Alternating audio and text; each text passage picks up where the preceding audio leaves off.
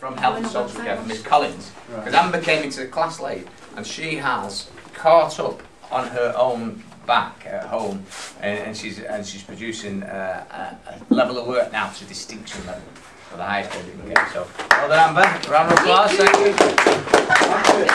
Oh, you can do better than that. Come on, round of applause.